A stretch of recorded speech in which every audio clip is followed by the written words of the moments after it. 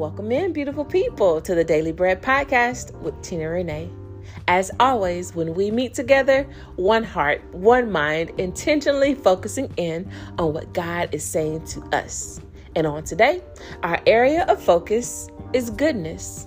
The meditation points and the scriptural references are as follows 1 Timothy 4 and 4.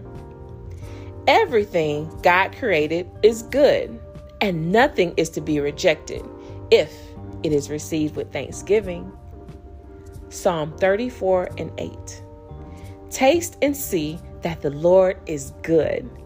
Oh, the joys of those who take refuge in Him. Romans 15 14. My brothers and sisters, I am sure that you are full of goodness. I know that you have all the knowledge that you need and that you are able to teach each other. Repeat this prayer after me. Lord, thank you for your goodness and for the assurance in your word that with you as my shepherd, goodness follows me wherever I go. What a beautiful image, being pursued by goodness. My prayer today is that I would slow down long enough to be overrun by your goodness.